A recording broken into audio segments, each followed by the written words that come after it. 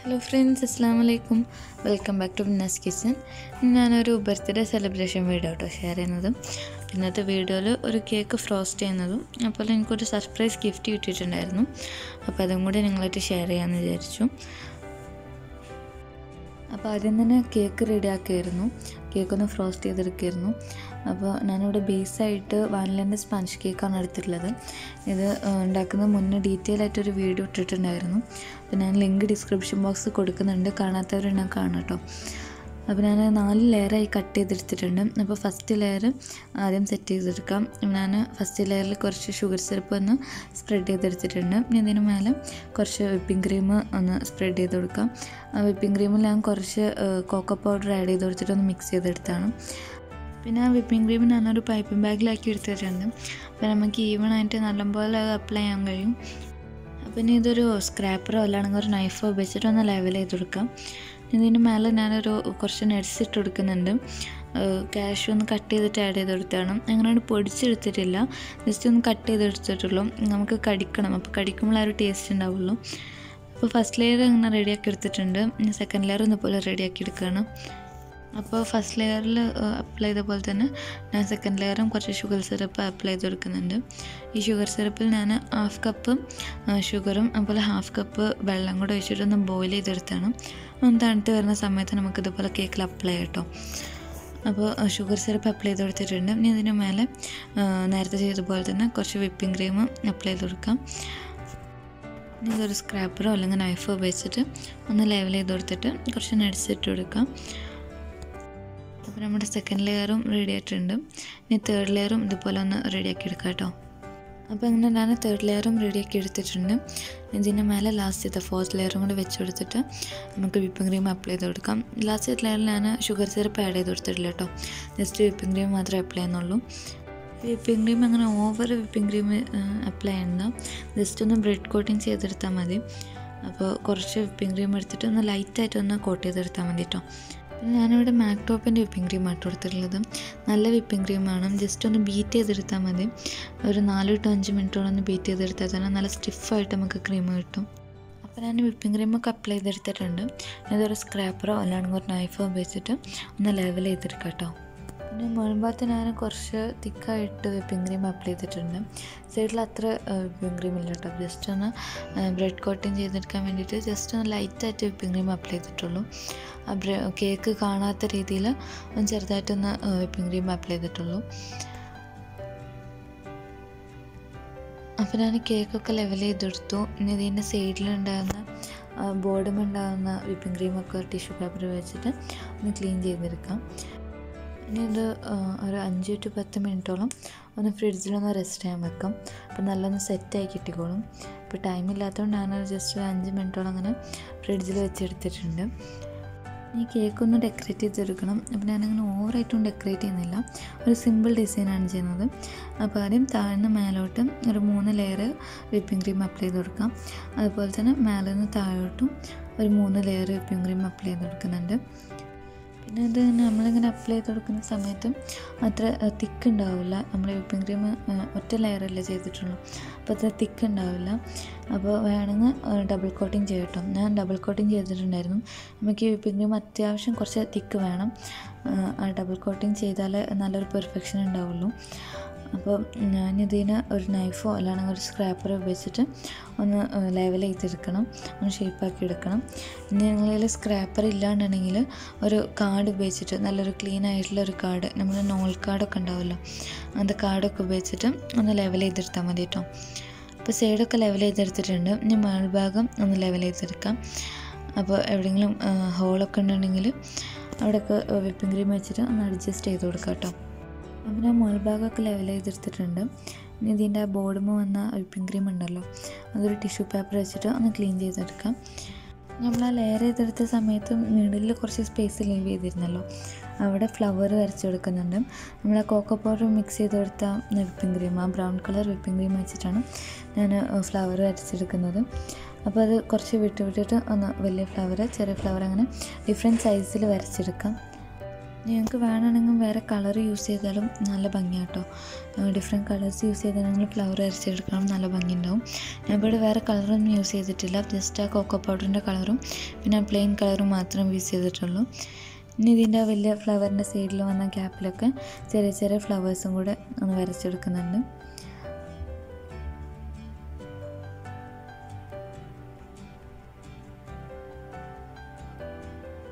ഇതിന്റെ മുകൾഭാഗം ഞാൻ ചോക്ലേറ്റ് വെച്ചിട്ടാണ് ഡെക്കറേറ്റ് ചെയ്തെടുക്കുന്നത്. ഫെറാറോന്റെ ചോക്ലേറ്റ് കേട്ടോ വെച്ചിട്ട് ഡെക്കറേറ്റ് ചെയ്തെടുക്കാം. ഡെക്കറേഷനൊക്കെ നിങ്ങൾക്ക് ഇഷ്ടമുള്ള രീതിയിൽ ഡെക്കറേറ്റ് ചെയ്തെടുക്കാം. ഞാനിപ്പോൾ സിമ്പിളായിട്ട് നമ്മൾ എടുത്തുള്ള സാധനങ്ങൾ വെച്ചിട്ട് ഒന്ന് ഡെക്കറേറ്റ് ചെയ്തെടുത്താണ്. ഇത് പേര് എഴുതാൻ വേണ്ടിയിട്ട് ഞാനിവിടെ ചോക്കോ ചോക്ലേറ്റ് കോമ്പൗണ്ട് എടുത്തിട്ടുണ്ട്. ഒന്ന് മെൽറ്റ് ചെയ്തെടുത്താണ്. കുക്കിംഗ് ചോക്ലേറ്റ് ഒന്ന് ഡബിൾ ബോയിൽ ചെയ്തെടുത്താണ്. ഒരു പൈപ്പിംഗ് ബാഗിലാക്കിയിട്ട് അതിന്റെ കോർണർ ഒന്ന് കട്ട് ചെയ്തെടുത്ത് നമുക്ക് പേര് എഴുതാം. ഞാൻ ജസ്റ്റ് ഹാപ്പി ബർത്ത്ഡേ എന്ന് മാത്രമേ എഴുതുന്നുള്ളൂ. നിങ്ങൾക്ക് നല്ല കംഫർട്ടായിട്ട് എഴുതാൻ പറ്റുന്നുണ്ടെങ്കിൽ സാധാ പോലെ എഴുതിയിരിക്കാം. അല്ലാണ്ടെങ്കിൽ ലൈൻ ഇട്ടിട്ടും ആദ്യം ടൂത്ത് പീക്ക് വെച്ചിട്ടൊന്ന് റഫ് ചെയ്തതിന് ശേഷം ചോക്ലേറ്റ് വെച്ച് എഴുതണം കേട്ടോ. കുറച്ചും കൂടെ നല്ലത്. അല്ലാണ്ടെങ്കിൽ അത് ചോക്ലേറ്റ് വെച്ച് എഴുതിയാൽ അത് തെറ്റിപ്പോയാൽ പിന്നെ നമുക്ക് വേറെ ഒന്നും ചെയ്യാൻ പറ്റില്ല അപ്പോൾ ആദ്യം ടൂത്ത് പീക്ക് വെച്ചിട്ടൊന്ന് റഫ് ചെയ്യട്ടോ പിന്നെ ആ ചോക്ലേറ്റിന്റെ ഇടയിൽ വന്ന ഗ്യാപ്പിലൊക്കെ ഞാൻ whipping cream brown whipping cream വെച്ചിട്ട് ഒന്ന് ഡെക്കറേറ്റ് ചെയ്തെടുത്തിട്ടുണ്ട്. ഒരു ചെറിയ ഫ്ലവർ വെച്ചിട്ടുണ്ട്. അപ്പോൾ കേക്ക് ഫ്രോസ്റ്റ് ചെയ്തെടുത്തിട്ടുണ്ട്. ഇനി ഇതൊന്ന് സെറ്റ് ചെയ്യാൻ വേണ്ടിയിട്ട് നമുക്ക് ഫ്രിഡ്ജിൽ റെസ്റ്റ് ചെയ്യാൻ വെക്കാം. അപ്പോൾ കേക്കൊക്കെ അങ്ങനെ റെഡിയായി പിന്നെ ഡിന്നർ പ്രിപ്പറേഷൻ ആയിരുന്നു. ഡിന്നറിന് ഇന്ന് പൊറാട്ടയും കുഞ്ഞിക്കോയും ബീഫ് കറിയും ആയിരുന്നു. കുഞ്ഞിക്കോയ നല്ലൊരു റെസിപ്പിയാണ് ചിക്കൻ വെച്ചുണ്ടാക്കാൻ പറ്റിയ നല്ലൊരു ടേസ്റ്റിയുള്ള റെസിപ്പിയാണ് പക്ഷേ അത് ഞാൻ ഇന്നത്തെ വീഡിയോയിൽ ഷെയർ ചെയ്യുന്നില്ല. അടുത്തൊരു വീഡിയോയിൽ എന്തായാലും ഷെയർ ചെയ്യാം കേട്ടോ എന്റെ റെസിപ്പി ഒന്ന് ഷെയർ ചെയ്താൽ വീഡിയോ കുറച്ച് ലെങ്ത്ത് കൂടും. ഇപ്പോൾ പൊറോട്ട ഞാൻ ഐഡിന്റെ പൊറോട്ടയാണ് എടുത്തിട്ടുള്ളത്. മലബാർ പൊറോട്ടയുണ്ട് സാധാ പൊറോട്ടയുണ്ട് അതുപോലെ വീറ്റ് പൊറോട്ടയുണ്ട്. നല്ല പൊറോട്ട ഉണ്ട് നല്ല സോഫ്റ്റുള്ള പൊറോട്ടയാണ്. ഇത് ഓൾറെഡി ഹാഫ് കുക്ക് ആയിട്ടുള്ള പൊറോട്ടയാണ്. അപ്പോൾ ജസ്റ്റ് ഒന്ന് കുക്ക് ചെയ്തെടുത്താൽ മതി. പിന്നെ ഈ പൊറോട്ട നമ്മൾ വീട്ടിലൊക്കെ ഉണ്ടാക്കുന്ന പോലെ തന്നെയാണ്.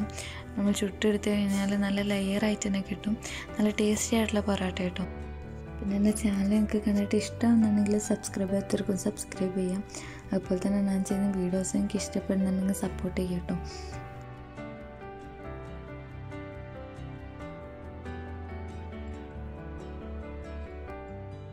അപ്പോൾ പൊറോട്ട ഒക്കെ ചുട്ടുകൊടുത്തു അപ്പോൾ തന്നെ കറിയൊക്കെ റെഡി ആയിട്ടുണ്ടായിരുന്നു. അപ്പോൾ പിന്നെ കേക്ക് കട്ട് ചെയ്യൽ കേക്ക് കട്ട് ചെയ്യാൻ നിന്നു. കേക്ക് കട്ട് ചെയ്യുന്നതിന് മുന്നേ ഗിഫ്റ്റ് എന്താണെന്ന് അറിയാൻ വേണ്ടിയിട്ട് ഭയങ്കര ഇൻട്രസ്റ്റ് ആയിരുന്നു. അതിന്റെ ഉള്ളിൽ എന്താണെന്ന് അറിയാൻ വേണ്ടിയിട്ട് ഭയങ്കര എക്സൈറ്റ്മെന്റ് ആയിരുന്നു. അപ്പോൾ ആദ്യം ഞാൻ കുറേ ഗസ് ചെയ്ത് നോക്കി പക്ഷെ എനിക്ക് ഒരു ഐഡിയയും കിട്ടിയില്ല. അപ്പോൾ ഞാനത് അൺബോക്സ് ചെയ്യാൻ തന്നെ വിചാരിച്ചു. പിന്നെ ഗിഫ്റ്റ് തുറക്കാനും അതുപോലെ കേക്ക് കട്ട് ചെയ്യാനൊക്കെ എന്നെങ്കാട്ട് ഇൻട്രസ്റ്റ് ചെയ്യാനൊക്കെയായിരുന്നു അവനാണ് പകുതി വന്ന് അൺബോക്സ് ചെയ്തതും കേക്ക് കട്ട് ചെയ്യാനൊക്കെ ഭയങ്കര ഇൻട്രസ്റ്റ് അവനക്കായിരുന്നു. പിന്നെ ഈ ഗിഫ്റ്റ് അൺബോക്സ് ചെയ്തപ്പോൾ ഞാൻ ഭയങ്കര എക്സൈറ്റഡ് ആയിരുന്നു. ഇതെങ്ങനെ ഇവരെ ഒപ്പിച്ചെന്നൊന്നും മനസ്സിലായില്ല. കാരണം ഇത്രയും വലിയ ഗിഫ്റ്റ് എവിടുന്ന് അവർ എപ്പോഴാണ് വാങ്ങിച്ചൊന്നും മനസ്സിലായില്ല. കാരണം ഞങ്ങളിപ്പോൾ പുറത്തൊന്നും പോകലില്ല. ലോക്ക്ഡൗൺ ആയതുകൊണ്ട് ഞങ്ങളൊന്നും പുറത്ത് പോകലില്ല.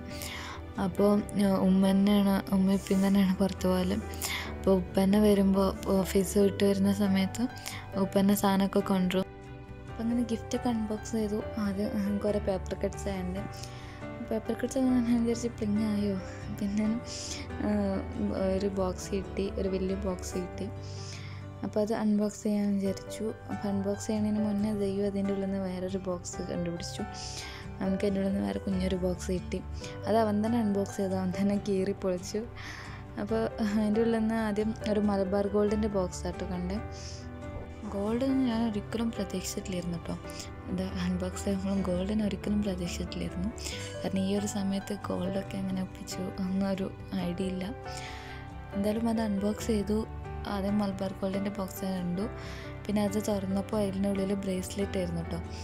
റൂബിയും എമറാൾഡിന്റെയും ആ ഒരു പാറ്റേണിൽ വരുന്ന ബ്രേസ്ലെറ്റ് ആയിരുന്നു. എനിക്ക് നല്ല ഇഷ്ടപ്പെട്ടു കേട്ടോ. നല്ല സിമ്പിളായിട്ടുള്ള നല്ല സിമ്പിളായിട്ടുള്ള ഒരു ഡിസൈനാണ് പിന്നെ അടുത്ത ബോക്സിൽ എന്താണെന്ന് അറിയാൻ വേണ്ടിയിട്ടായിരുന്നു. അപ്പോൾ അത് അൺബോക്സ് ചെയ്തു. അൺബോക്സ് ചെയ്തപ്പോൾ കുറേ പേപ്പർ കട്ട്സ് ആയിരുന്നു ആദ്യം കണ്ട്. അപ്പോൾ ഇതൊക്കെ അവർ എപ്പോഴും ഒപ്പിച്ചെന്ന് ഒരു ഐഡിയ ഇല്ല കേട്ടോ. അപ്പോൾ അതിന്റെ ഉള്ളൊന്നും ഒരു കുഞ്ഞ് ബോക്സ് കിട്ടി. അപ്പോൾ അങ്ങനെ അതിന്റെ ഉള്ളിൽ നിന്നൊരു കുഞ്ഞു ബോക്സ് കിട്ടി.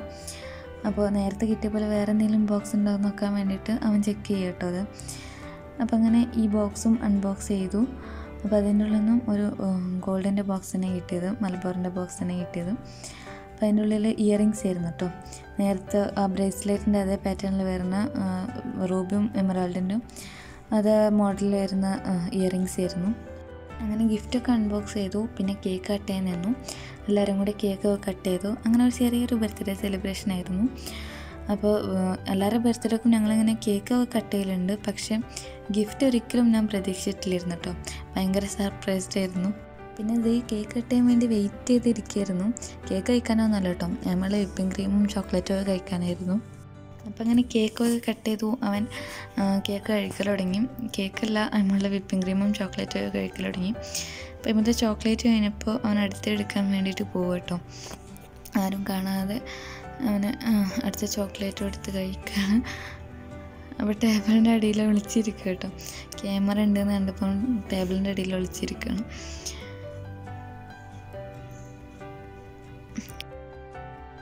അപ്പോൾ അങ്ങനെ കേക്കൊക്കെ കട്ട് ചെയ്തു. എല്ലാവരും കേക്കൊക്കെ കഴിച്ചു. നല്ല ടേസ്റ്റ് ഉണ്ടായിരുന്നു കേട്ടോ അപ്പം അങ്ങനെ സെയിം ഷമാസൊക്കെ കേക്ക് കഴിച്ചു കഴിഞ്ഞു പിന്നെ അവർ താണ്ടായിരുന്ന പേപ്പർ പീസായിട്ട് കളിക്കുകയാണ്. അവർക്ക് വീട് ഇങ്ങനെ കച്ചറാക്കി എടുക്കുന്നുണ്ട് അപ്പോൾ നല്ല ഇൻട്രസ്റ്റ് അതിൽ കളിക്കാനും. അപ്പോൾ അവർ കുറേ നേരം കളിച്ചു.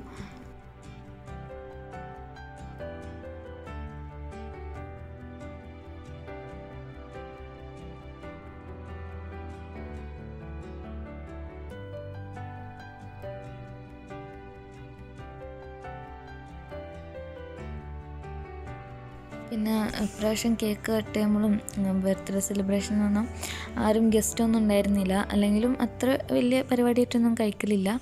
ജസ്റ്റ് കേക്ക് കട്ട് ചെയ്യലേ ഉള്ളൂ. പക്ഷേ എങ്ങനെയെങ്കിലുമൊക്കെ ആയിട്ട് ഗസ്റ്റൊക്കെ ഉണ്ടാവും. ആരെങ്കിലുമൊക്കെ ഗസ്റ്റ് വരലുണ്ട്. അപ്പോൾ ആരും വന്നിട്ടില്ലായിരുന്നു. ആരും വിളിക്കാനും പറ്റിയിട്ടില്ലായിരുന്നു. പിന്നെ അവർ രണ്ടുപേരും കൂടെ തന്നെ ആയി. കുറേ ഓടിക്കളിച്ചു പിന്നെ അവർ ടയേർഡായി അപ്പോൾ ഫുഡ് കഴിക്കാൻ വിചാരിച്ചു.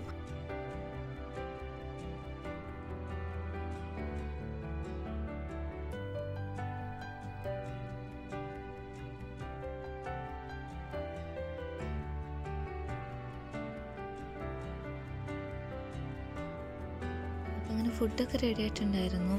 ബീഫ് കറിയും കുഞ്ഞിക്കോഴിയും പൊറോട്ടയൊക്കെ റെഡി ആയിട്ടുണ്ടായിരുന്നു. അപ്പോൾ അങ്ങനെ എല്ലാവരും ഫുഡൊക്കെ കഴിക്കാനിരുന്നു. അപ്പോൾ അങ്ങനെ ബർത്ത്ഡേ സെലിബ്രേഷനൊക്കെ കഴിഞ്ഞു. ഒരു ചെറിയ കുഞ്ഞ് ബർത്ത്ഡേ സെലിബ്രേഷൻ അല്ലാണെങ്കിലും ഇതുപോലൊക്കെ തന്നെ ഉണ്ടാവില്ല അങ്ങനെ ഓവർ സെലിബ്രേറ്റ് ചെയ്യലൊന്നുമില്ല. ജസ്റ്റ് കേക്ക് കട്ട് ചെയ്യും പക്ഷേ ആരെങ്കിലുമൊക്കെയായിട്ട് വരലുണ്ട് കേട്ടോ പക്ഷെ ഇപ്രാവശ്യം ലോക്ക്ഡൗൺ ഒക്കെ ആയതുകൊണ്ട് തന്നെ ആർക്കും വരാനും പറ്റിയില്ല ആരെയും വിളിക്കാനും പറ്റിയിട്ടുണ്ടായിരുന്നില്ല. അപ്പോൾ എന്തായാലും ഇന്നത്തെ വീഡിയോ എനിക്ക് ഇഷ്ടപ്പെട്ടെന്ന് അറിയുന്നു അടുത്തൊരു വീഡിയോ വീണ്ടും വരാം. അസ്സാം വലൈക്കും